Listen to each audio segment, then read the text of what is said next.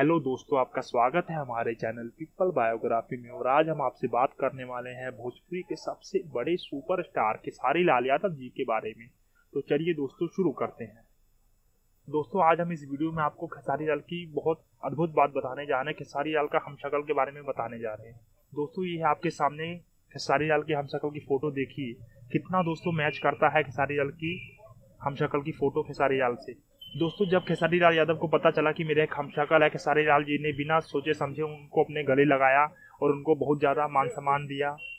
दोस्तों, उसे तो कई स्टारों के साम शक्ल होते पर कोई किसी को पूछ के राज़ी नहीं है। पर खेसारी लाल यादव जी ने उनको पूछा, अपने साथ गले मिलाया, अपने साथ अपने साथ गले मिला और उनके साथ खाना पीना खाया और उनको बहुत प्यार किया।